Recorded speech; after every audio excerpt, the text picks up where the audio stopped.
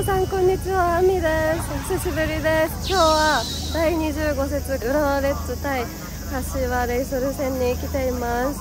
そう雷雷と雨が降り始めたのでとりあえず急ぎでここでオープニングだけ撮って雷苦手なので中に入ります。もう店もお店もガチャガチャも閉まってきちゃいました。試合が心配ですけれども雷今日は長いお休みが明けた後の試合になるのですごく楽しみにしていたのとあと前ね、興梠選手が会見で言ってたようにあと14連勝。すれば優勝も可能性もあるし ACL の出場権の可能性もあると思うのでうん。あるので今日も熱い応援を、はい、最初からやっていきたいと思いますそして今日はえっと、個人的なことなんですけれども2日後から留学行くことになっていまして留学行く前最後の浦和レッズ再スター参戦になるのでしっかりレッズには勝ってもらって気持ちよく見送ってほしいなって思います。すごいですね雷。もうどうでもよくなってきちゃった。そんな大事なな大事な時なのに風邪をひいて喉がやられてて咳も出るので あんまり大きい声で騒げないかもしれないんですけれどもできる限り熱い応援を最初からしていきたいと思います。留学前最後だから今日はたくさん食べてたくさん買ってたくさん回す。ガチャはもう雷がすごかったので先に回しました。8回回して出ませんでした推しは。ちょっとやばいので中入ります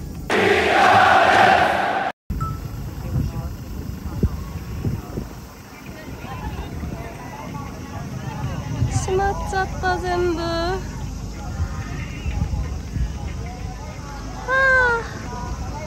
真っ暗。雨が降ってきちゃいました。今日はお父さんとお母さんと3人での観戦になるので座席では隣お父さんお母さん3人で仲良く見たいと思います。もう本当になんで雷。無事試合できるといいけど。お願い。おおすごいのが入った。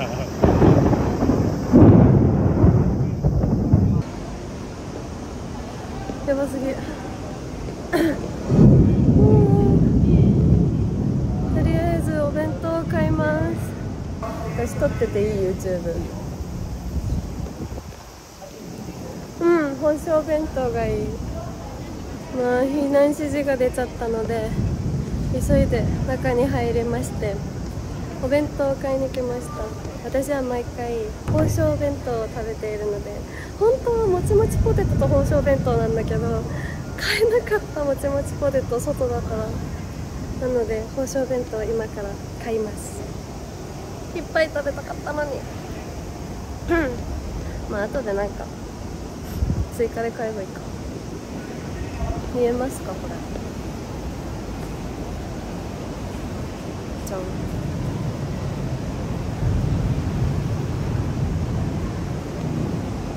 みんな避難されてる。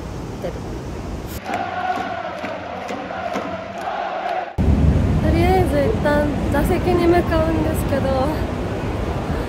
やば。ちょっと待って。すごい変な天気してる。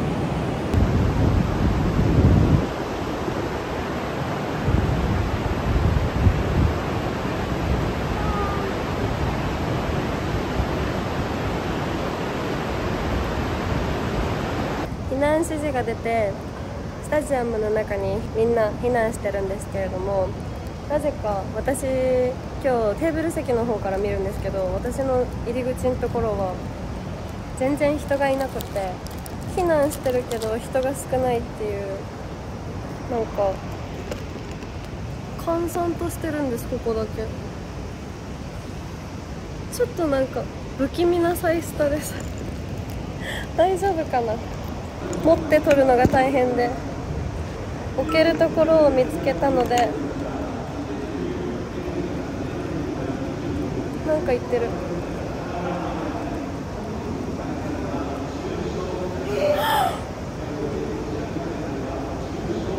え本日の開催中止って言ってるんだけどね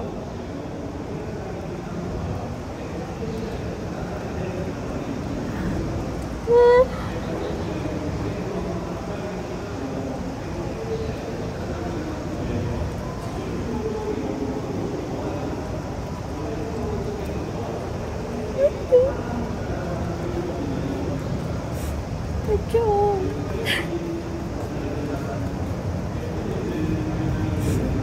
私2日後に留学行くことになっててしばらくサイスタ来れなくなる最後のあれだ最後のサイスタ観戦だったからずっと久しぶりのサイスタ楽しみにしてたのに。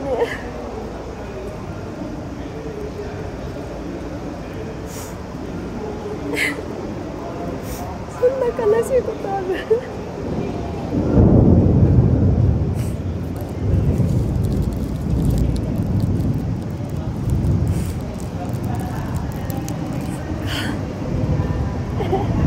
今これでもう明日ガチャガチャ紹介しようと思ってたのに中止のアナウンスが流れてしまいました。